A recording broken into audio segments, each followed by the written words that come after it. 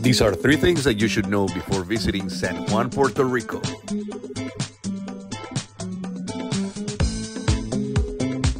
Numero uno, basic Spanish is needed.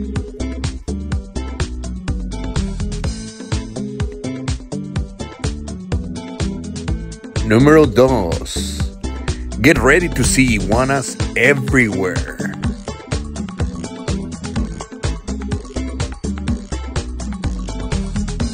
Numero 3. Uber or taxi is the easiest way to get around between San Juan and Old San Juan. So now you know it.